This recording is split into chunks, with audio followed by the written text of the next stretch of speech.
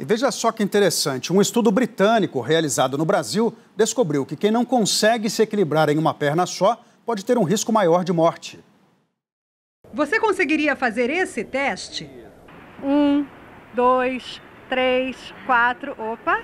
Fazer de novo. O objetivo é ficar nessa posição, com os braços estendidos ao longo do corpo e o pé apoiado na outra panturrilha em ambos os lados. Uma pesquisa da revista acadêmica British Journal of Sports Medicine, realizada com a participação de cientistas brasileiros, revelou que quem consegue ficar nesta posição por pelo menos 10 segundos tem uma expectativa de vida maior.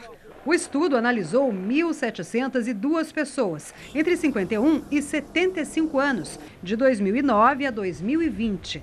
Entre os que não conseguiram completar o teste, 17,5% faleceram no período de sete anos. Já entre os que conseguiram, o índice foi de apenas 4,6%.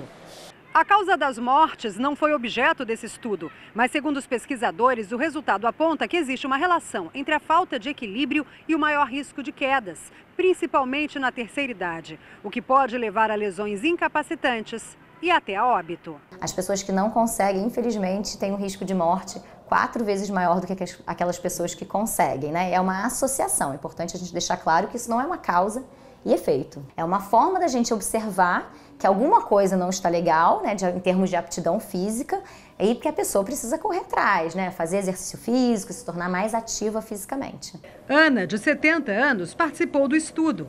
Eu vi que meu resultado foi ótimo, que eu sou uma pessoa equilibrada e que isso me traz melhorias para a vida inteira. Antônio, de 72 anos, faz o teste há uma década e considera importante.